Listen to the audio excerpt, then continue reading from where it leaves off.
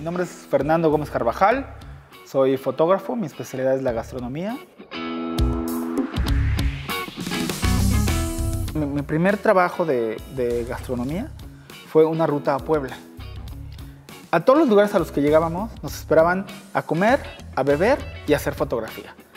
Yo dije, de, de aquí soy, o sea, esto es lo mío, claro, o sea, entonces estaba yo feliz.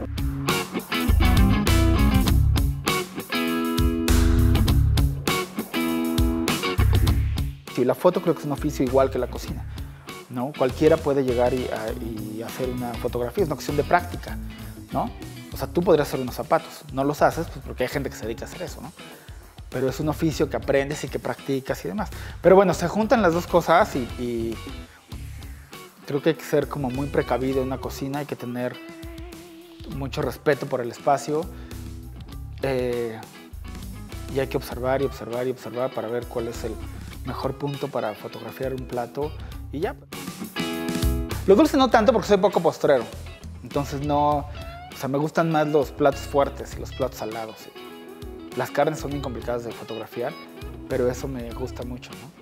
Eh, hay cosas bien guapas, o por ejemplo el pulpo es muy guapo para las fotos, porque es muy bonito, las verduras son muy bonitas para fotografiar.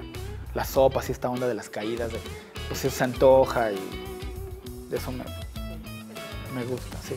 Y hablando de gastronomía en general, me gusta mucho la gente como en campo, o sea, productores y la gente en acción y trabajando.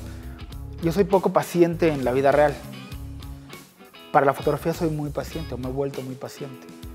Me gusta como, como esperar el momento y cuando tengo tiempo, o sea, puedo estar ahí como observándolo, observándolo, observándolo, hasta que me da lo que quiero.